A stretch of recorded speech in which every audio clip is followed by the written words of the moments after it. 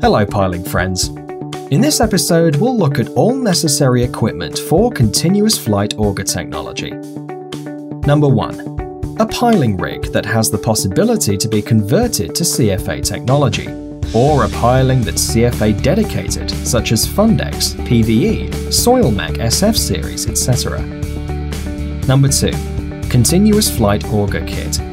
There are several items here that comprise the CFA kit, such as hydraulic mast foot, extension shaft, swivel, lower gates, and many others that we'll cover in a different video.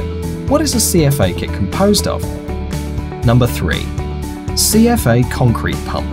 The pumps can be crawler mounted or trailer type. The CFA pump is recommended to have a delivery of at least 65 cubic meters per hour and a pressure of at least 40 bar. Obviously, the greater the depth and diameter, the bigger the pump.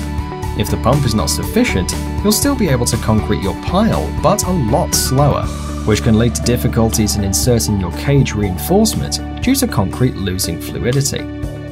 There are many things that need to be said about pumps, therefore we'll have a separate episode regarding this, CFA concrete pumps. Number 4. An excavator and or crane. It all depends on the size of CFA piles you'll be performing. Number 5. Concrete hoses and rigid pipes. Depending on the country you're in, the sizes are 4 and 5 inches. The hoses need to be sufficiently long to connect the concrete pump with the rig. Number 6. Tools. Here you'll need to consider augers, teeth for clay or bullet type, and plugs, sacrificial or reusable. And number 7.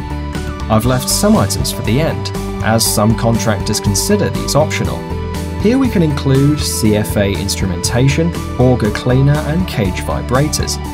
If this auxiliary equipment is used or not, it's strictly dependent on the size of the job you must perform.